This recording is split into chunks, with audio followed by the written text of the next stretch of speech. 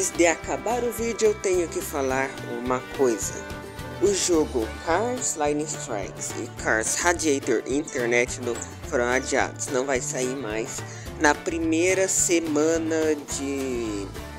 Não, na primeira segunda de 2023. Na verdade, vai sair um tempinho depois, tá? Porque ainda tem que fazer muita coisa, tem que reposicionar sprites, tenho que fazer os capítulos 1 e 2, porque o 3 não vai dar para fazer, espere um pouquinho.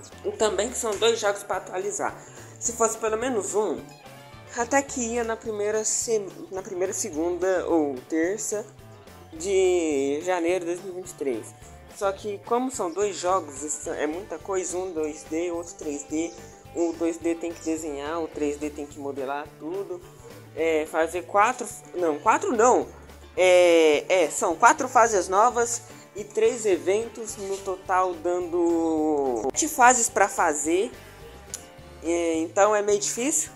Que eu, no caso, estou falando do Cars Radiator Internet. No, o, o 2D, no, o, que é o Lightning Strikes, vai demorar um pouquinho, porque o Lightning Strikes é pouca coisa, podemos dizer assim, não é muita coisa assim. É só reposicionar ali, fazer umas duas missões novas e show. É, só que o Lightning Strike, não, o Radiator Internet não é, é mais coisa, tem que modelar, tem que fazer um monte de coisa. Então é, é mais difícil. E também que o pessoal gosta mais do Radiator Internet, né? Então eu fico mais pressionado para fazer ele. Eu tô fazendo o Line Strike primeiro, porque aí depois eu tenho mais liberdade criativa para fazer o Radiator Internet. Eu acho que eu falei errado. Eu falei. Não, acho que eu falei certo. Ah, não sei. Eu só sei que vai demorar né, eu expandi esse assunto aqui pra vocês ficarem mais tempo aqui no meu canal vocês me darem dinheiro. É, eu uso vocês pra vocês me darem dinheiro, eu uso todo mundo pra me dar dinheiro. É isso aí, hahaha. Mentira, mas é isso, gente. Falou!